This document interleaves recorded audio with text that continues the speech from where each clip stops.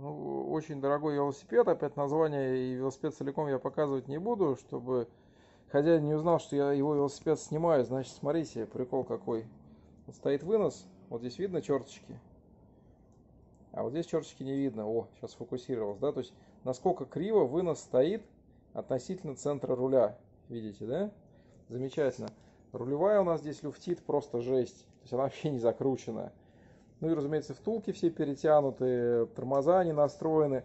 Рубашка вот так вот похабно идет и трет Абраму. И здесь уже натерла выступающую часть. То есть это после магазина вот такое вот качество сборки. Я ему говорю, крути, оно не крутится.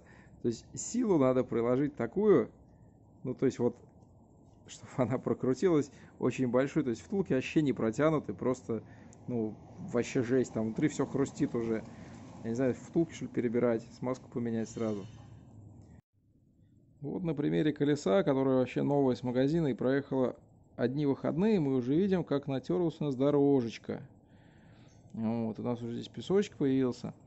Вот так вот здесь недостаточно смазочки, то есть она как бы есть, но она ее мало, и она недостаточно липкая, что у меня уже вон туда вот насыпалось шариков дофига. Сейчас я буду все это собирать с пола обезжиривать и носить новую смазочку. Такое качество сборки великов, которые стоят дофига, что мы их даже не можем показывать в полный рост.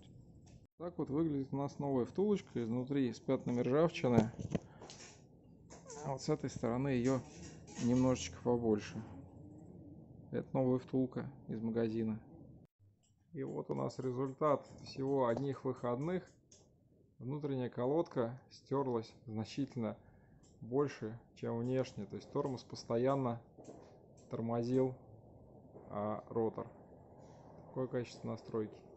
В общем, здесь все еще печальней. Как вы видите, винт стоит или шатун кривой, или винт кривой. Но, ну, в общем, сюда не залезает головка на 14. И невозможно винт не затянуть, не открутить. Потому что вот здесь вот расстояние намного больше, чем вот здесь. Оно просто не помещается. Колеса с восьмерками, это, конечно, понятно, да, что тут оно туда-сюда. Вот я настроил, кстати, колесо, что хорошо крутится и вперед-назад. Но мы имеем восьмерочку. Такую прям восьмерочку. Не знаю, сколько это будет видно, но где-то в пределах, наверное, миллиметров трех колесо гуляет. Ротора, короче, мятые, долго правил, все настроил. Ну, в общем, сборка оставляет желать лучшего. Время уже, наверное, часов 11 ночи, но вот мы его сделали.